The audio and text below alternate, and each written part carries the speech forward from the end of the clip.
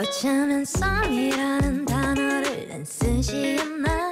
친구란 완벽한 단어로 숨길 수 있지. 사랑이 좀처럼 느끼지 않난 이대로 아슬아슬하게 선을 넘어 벚꽃이 피면